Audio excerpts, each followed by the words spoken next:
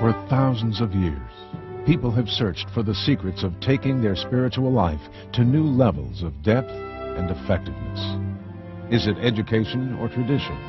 Solitude or service? Devotion or demonstration? The question is still asked, and many still search for the answers. For the next 30 minutes, Jack Hayford offers you an unusual journey into the realm of the Holy Spirit, an invitation to be spirit born, spirit fed, spirit filled, and spirit formed. Welcome to the next stage of your spiritual life. Spirit Formed with Jack Hayford. Hello again, and welcome to Spirit Formed.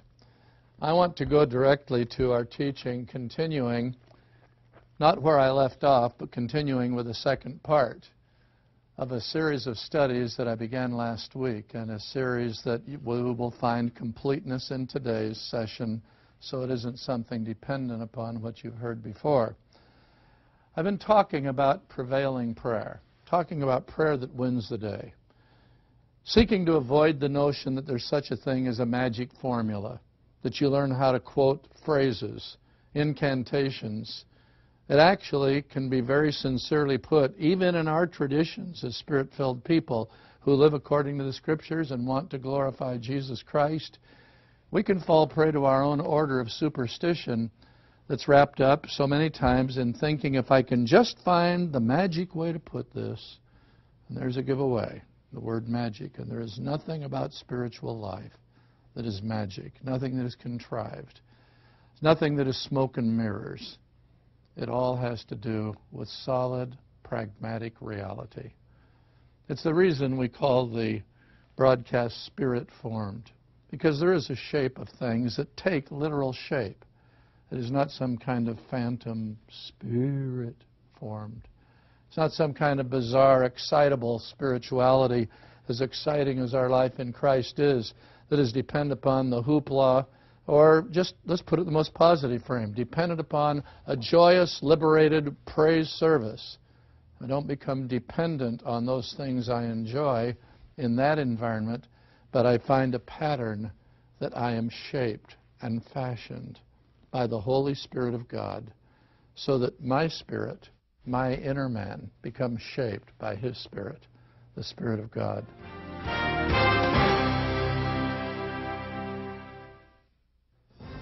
Leaders. During times of questions, they provide vision. During times of transition, they provide stability. And during times of crisis, they provide hope. The King's College and Seminary founder, Chancellor Jack Hayford, understands the importance of building leaders.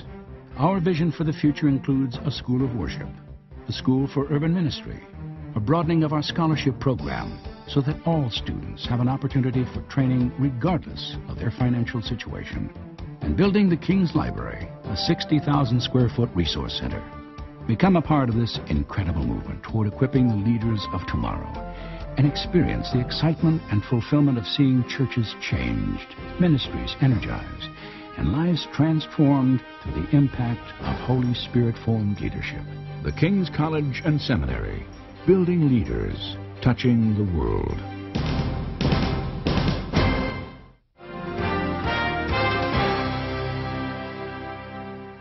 As we open the scriptures today, we're discussing how that shaping of our understanding will help us to be more effective in prayer and thereby prevail. Defining prevailing prayer is what I've called this series, or winning the day, prayer that wins the day. But it doesn't win through our achievement. It's because we've gotten on the right team. The captain of the team, you know his name, Jesus, and when we move in partnership with him, in companionship, and go into the battle, that prayer will win the day. It's an amazing thing because we often think, well, if He is our Lord and Master, why doesn't He just take care of everything like that?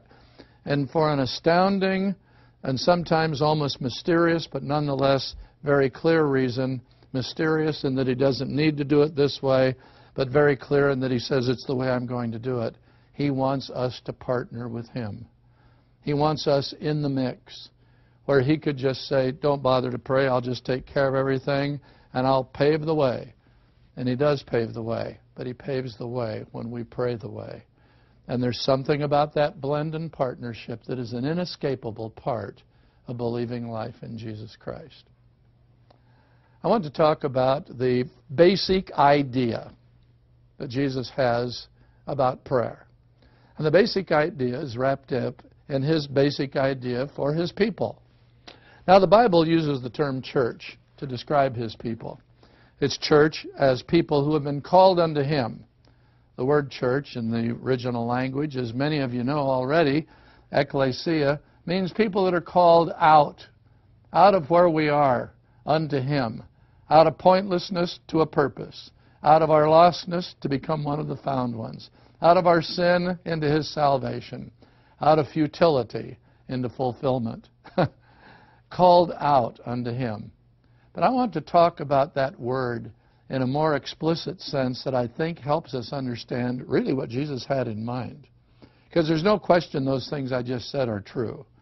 And that is commonly the way that the word ecclesia is discussed by we who teach and preach the Word of God. And it is true. We usually teach that the called out ones, let me just take a moment, the ecclesia, or we use the word ecclesiastical. That word in English is derived from ecclesia, the Greek word for church, the church. And the ek is the Greek preposition out. The klesia is from the verb kaleo, which is to be called out.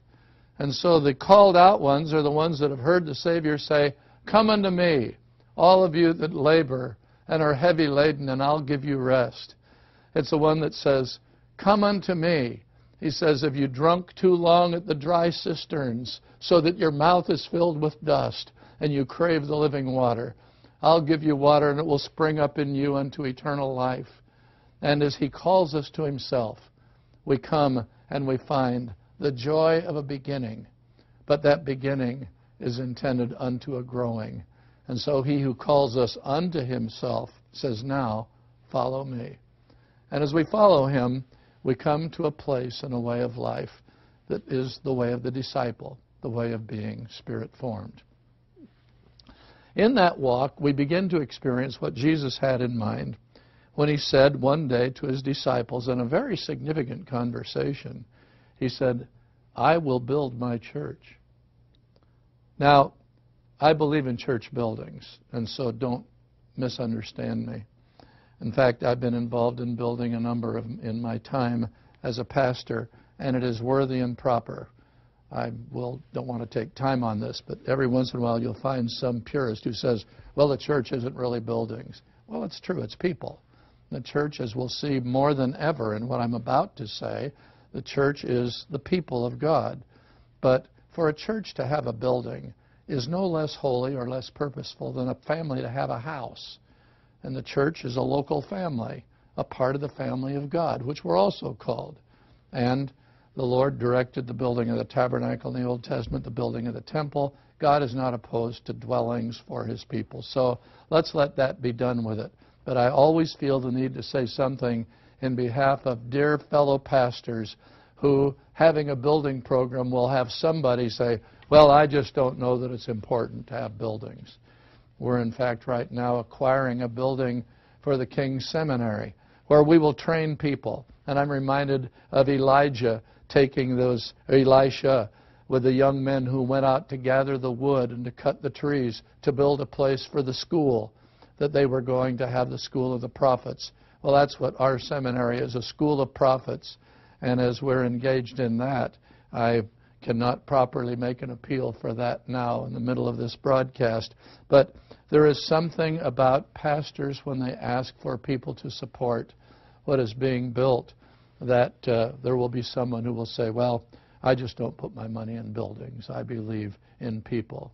And it sounds so godly, but uh, they base it on, I will build my church. And the church isn't a building, it's people. And I always want to just say, oh, good for you that you understood that. Now, what was Jesus saying? Well, while he wasn't knocking the idea of us having buildings for the work of God, he was talking about people, but he was talking about it in a specific way. And that's what I want to take several minutes with. Because at the heart of it is a point of understanding that if we can lay hold of that, it will help us understand that prevailing prayer has to do with laying hold of issues larger than we often think.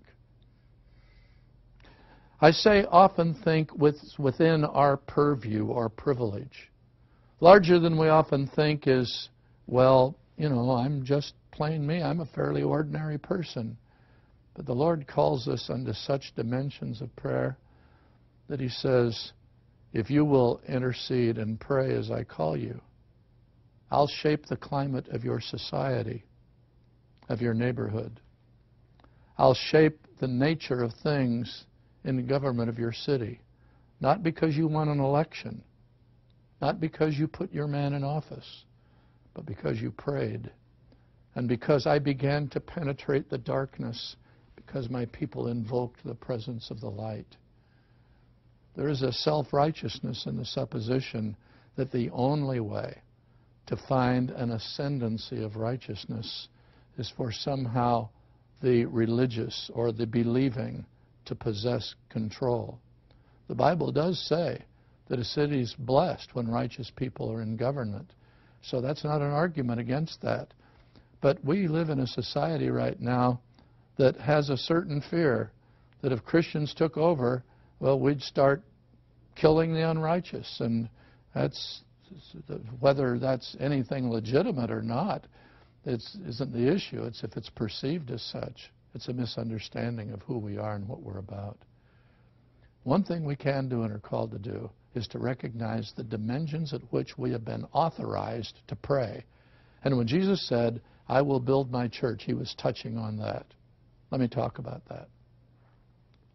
When Jesus said, I will build my church, it is unquestionable that he would have used the Greek term. Now, some scholars watching right now know that in the New Testament times, Jesus was speaking in Aramaic, and that the Gospels written in the uh, Greek language were written in the broad, sweeping language of the time for reasons of communication, but it wasn't necessarily always the way it was spoken. But in this case, there is no question because the word was born from the Greek culture, and Jesus was communicating this idea, and that uh, the Scripture uses it in Matthew's words. Jesus said, I will build my church even if he said everything into that point in the language of the immediate culture at that time, Aramaic. If he did that, he would have used ecclesia because it was the word, the one word that described what he was talking about. There was no other of its time. The word ecclesia came into usage in a unique way about 500 years before Christ, but it was common in the currency of the times of his ministry and understood this way. It was a word that described uh, the introduction that had taken place centuries before that time of a new way of governing people.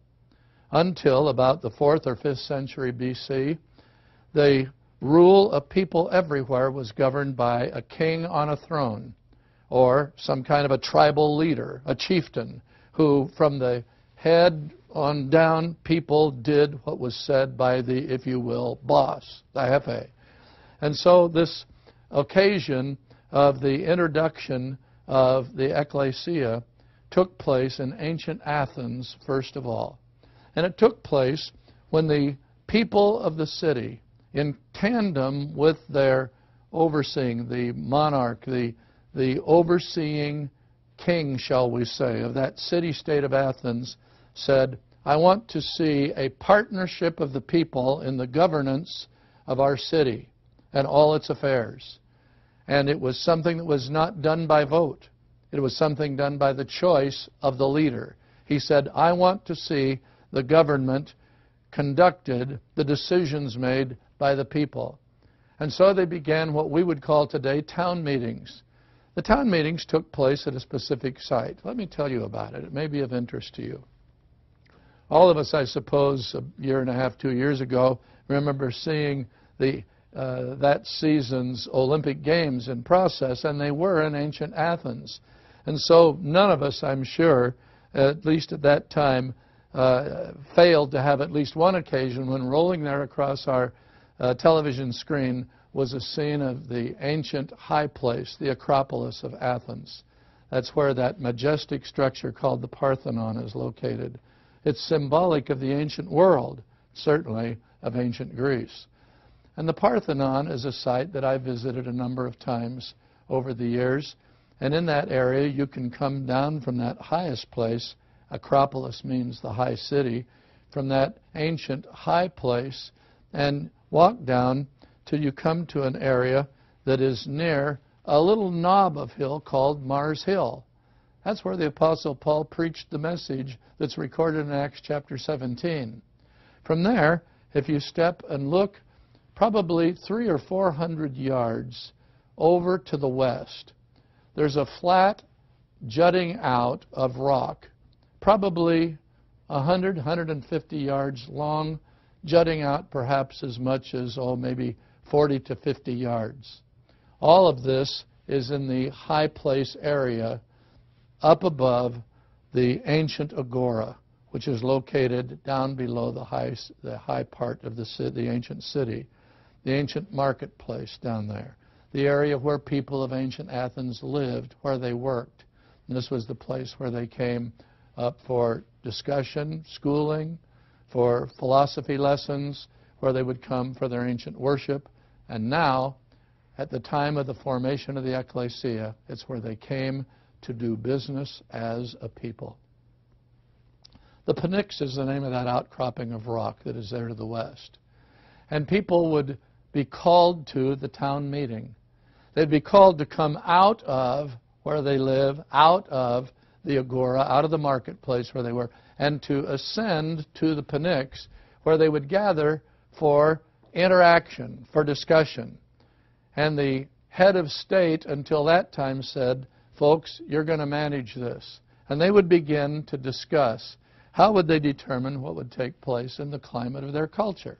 How would they determine how they would school their children? How would they determine handling the budget affairs of the city?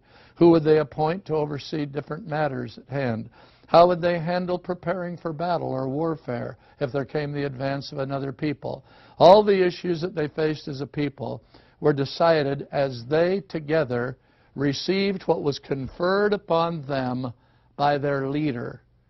And as they made the decisions how the city, how the nation would move forward, it was made as the result of their acceptance of their place as members of the population who were more than just the peons, more than just, well, this is just where I live, but the people who had answered the call as the ecclesia, the ones called to the place of making decisions as to what will take shape in the future of their own world.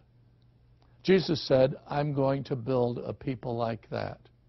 A people who recognize that their world, whether it's the world of their family, their neighborhood, their community, the world of their city, state, or nation, the world of the realm in which they are facing their present circumstances, whether those things will be dominated by either the forces of things that are or the tyrannical works of the powers of darkness, the prince of the power of the air, or the overruling spirit of the world, that those things that would oppress, the things of our own weakness or limitation, will I be dominated by those things, or will I accept what has been given me by Jesus?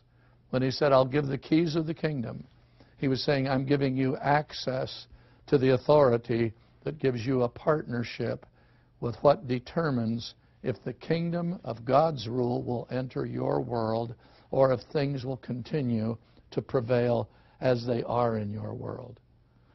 And the power, the possibilities of prevailing prayer have to do with people who come to recognize that circumstances that appear to us to have a dominion that we're tempted to give into, to to feel this is just this is just too much. I can't handle any more. That at that point we hear a whisper in our heart a whisper of the Lord saying, You are my church. You're one of mine. Come out from the midst of that and come into my presence and there begin to call upon me For I am going to give you the keys of the kingdom of God. And listen to this. He said, And the gates or the councils of hell shall not prevail. They will not prevail because there is a prevailing possibility in what is given to you. But it will never take place, loved ones, if we live in that passive stance that a kind of almost Christian fatalism exists of saying, well, these, you know, just que sera, sera. I guess this must be the way that God wants things to be. When in fact, dear ones, so much in our world is not even approximate to what He wills. How many times will people take prophecies of the end times and look at the world in the corruption that besets us and the agonies of the hour and say, well, the Lord said it was going to be this way, and it is that way. But He didn't say it has to stay that way where His people are. There are people that are lost, and He didn't say, well, they're lost, so they'll just have to stay that way. He's given us the privilege of coming with the good news of the love of God in Jesus Christ, with the mercy of the Lord that brings salvation, to come not with a religious pretense, but to come and embrace the world in its pain and need, and to reach with love. And then beyond human touch, the things that are being splayed, destroyed, exploded apart by reason of the animosities of hell, by reason of circumstances that crush people, that we look at them and say, What can I do about those? You can answer the call. Come up to the Pnyx. Come up to that place for now the Pnyx in ancient Athens calls us to another place, to the high place, to the high place of the presence of God, where the scripture says, We have been seated in the heavenlies and in Christ. And there in Christ to take our place. And as we do, begin to call out to the Lord and to say, Lord, I come to exercise the privileged role that I am given. He said then, for it is those who do that, who are my church, who take the keys. Hell shall not prevail. And he says, for this reason. For whatever you release into earth, as already is releasable in heaven, whatever you loose on earth will be loosed and has already been loosed in heaven. You're appropriating what is done through the cross and provided by the promise of God. What has been written in the Word said, This is yours. And this is for those that you touch and for the world in which you are. Say, Lord, what you have spoken, what is your will, let it come and be done on earth. Say, couldn't God just do it anyway? Well, of course he could. John Wesley put it so well, though, centuries ago. He said, the question is not, can God do it on his own? The question is, what has been his will? Contrary to popular belief, the bad things that happen aren't the will of God. Say, well, why do they happen? Because we live in a broken world and, in many respects, a demon managed one in many circumstances. And the Lord said, But I have a church in the middle of it. And if they'll hear my call, they can take their place. And as they do, there will not be a prevailing of the works of darkness. There will be an inflow of the kingdom because what I do will is to will that they would call upon me and I will show them great and mighty things. Call upon me and what heaven designs can enter into the earth scene. So Wesley said, without him, we can't get a result. We cannot. But without us, he won't. Not because he's heartless, but because he's committed to growing a people who will learn the way the power of God will prevail on earth is through a praying church and a ministering people who love a broken world and take their place in prayer. And so, prevailing prayer takes place where people understand who we've been called to be in Christ and through Christ. And by taking that place, to watch what only God can do. But He has said, I do it as only I can, but I only do it when you call. You may have been watching this broadcast today and you've never called on the Lord concerning a circumstance. He's ready to enter with heavenly grace, to move what heaven wants, into a place where hell is making your present moment. You may have never, you may never have received the Lord. And He won't save you on your own, but He will save you if you call on your own and say, Lord, come be my Savior. Whatever it is, the circumstances we face or the salvation we need, call upon the Lord today with me. Father, I pray for these who join me now, and in Jesus' name say, Come. Just as we come to you, to the right hand of the throne of God through Jesus Christ our Lord, let there come a flow of your life, Lord. We praise you for your greatness, your almightiness, and thank you that it's at our disposal through no strength of ours, but because we come to the fountain of life and we say, Let your kingdom come, your will be done in me, in my family, in my town, on earth as it is in heaven. Amen.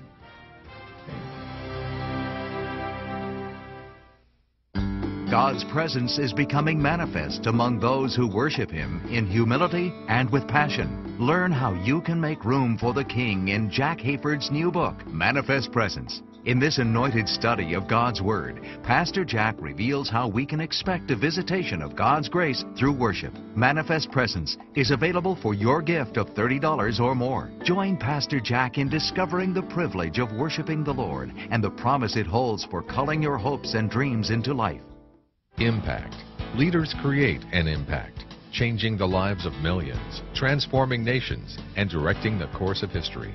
Chancellor Jack Hayford and the King's College and Seminary are committed to training leaders to make a difference on the global stage.